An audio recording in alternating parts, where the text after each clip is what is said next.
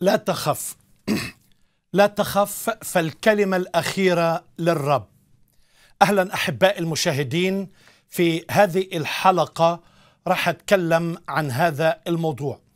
حديث اليوم مش عن موضوع الخوف كخوف أنواع الخوف من ناحية نفسية أو روحية أو المخاوف طبعا اللي بنمر فيها مخاوف طبيعية. لكن أنا بتكلم عن الخوف كحالة عم بتمر فيها الناس في هذه الأيام. الوضعية محرجة نوعا ما. الناس عايشة في هم وفي قلق وكل يوم الأخبار مزعجة أكثر من اليوم اللي فات. وعم نتغذى على الأخبار الصعبة والأخبار الغير مسرة مش اللي بتفرح.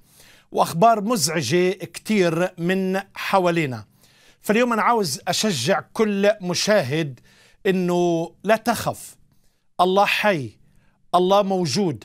الكلمة الأخيرة للرب فهو ليس إله صامت وليس إله غايب عن مسرح التاريخ. فهو حتى مكتوب عنه في الكلمة إن شعور رؤوسنا مرقمة محصاة. بيعرف دخولنا بيعرف خروجنا بيعرف ماضينا بيعرف قلوبنا بيعرف كل يعني بيعرف فكرنا بيعرف كل شيء عنا. وهذا الشيء بشجعنا والكتاب المقدس فيه مواعيد كثيرة ولا سيما في هذا الموضوع. موضوع لا تخف. بتشوف عشرات لا بل مئات من الوعود الكتابية اللي بتتكلم عن أو بتشجعنا لا تخف لأنه الله موجود الله حي الله يتواصل الله يتفاعل الله بهمه أمرك بهمه أمري والله بيهتم في احتياجات الناس.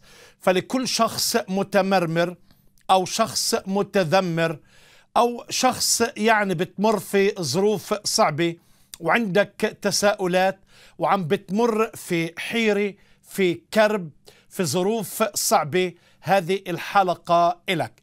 فأنا بدعوك أنك تشاهد هذه الحلقة.